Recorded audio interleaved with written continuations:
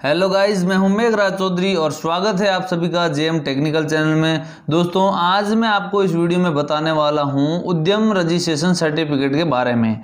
क्योंकि आपने उद्यम रजिस्ट्रेशन सर्टिफिकेट बना लिया है और उसके साथ पैन कार्ड लिंक नहीं किया है और जीएसटी भी लिंक नहीं किया है तो आपका उद्यम रजिस्ट्रेशन सर्टिफिकेट है, उसको आज से कैंसिल कर दिया जाएगा। और अभी जो उद्यम रजिस्ट्रेशन की वेबसाइट है, वो भी अंडर मेंटेनेंस है चार तारीख तक। ये मैं आपको अभी खोल के दिखा देता देता हूँ।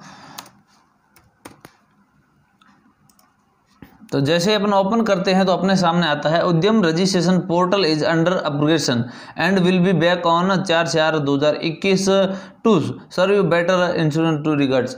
तो इसमें अभी जो आपने पहले उद्यम रजिस्ट्रेशन किया था और उसमें आपने PAN card number GST link नहीं किया था और वो जितने भी ऐसे बिना लिंक के उद्यम रजिस्ट्रेशन से, उनको अभी कैंसिल कर दिया जाएगा। आपको फिर नया बनाना पड़ेगा और, या फिर उसमें अपडेटेशन का ऑप्शन आता है तो मैं आपको वीडियो के माध्यम से बताऊँगा।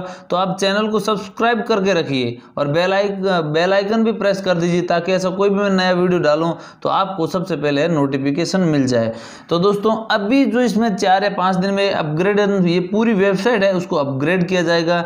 ये उद्यम रजिस्ट्रेशन पोर्टल है, वो अभी अपग्रेशन होगा। अपग्रेड होने के बाद में आप अपना, उसके साथ पैन कार्ड और जीएसटी आपको लिंक करना ही पड़ेगा। लिंक नहीं करते हो तो अभी से उसको कैंसिल कर दिया जाएगा। वैसे पहले नोटिफिकेशन था कि एक अप्रैल तक आपको लिंक करना है। लिंक नहीं करते हो तो आपका जो उद्यम रजिस्ट्रेशन सर्टिफिकेट है उसको कैंसिल कर दिया जाएगा। अभी कैंसिल किया है या फिर नहीं किया है, ये तो आपने को अभी चार तारीख के बाद में पता चलेगा, क्योंकि दोबारा वेबसाइट ओपन होगी, उसके बाद में नया क्या क्या फीचर देते हैं, लिंक का देते हैं अपडेटन का देते हैं या फिर नहीं देते हैं, या फिर अपने को नया बनाना है तो भी कैसे बना सकते हैं। तो दोस्तों, इसका जो भी आपको नोटिफिकेशन आएगा, मैं आपको वीडियो के माध्यम से बताता रहूँगा तो आपको ओनली चैनल को सब्सक्राइब करना है और बेल आइकन भी प्रेस करके रखना है। जैसे ही कोई नया वीडियो आता है तो सबसे पहले आपको नोटिफिकेशन मिल जाए।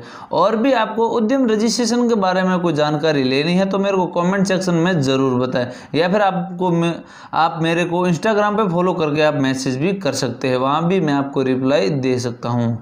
तो गाइज़ अभी जैसे उद्यम रजिस्ट्रेशन का पोर्टल है अपग्रेड होने के बाद में अपने को पाँच तारीख को इसमें पता चलेगा कि नया बनेगा, वो भी कैसे बनेगा, क्योंकि इसमें बहुत कुछ चेंज होने वाला है।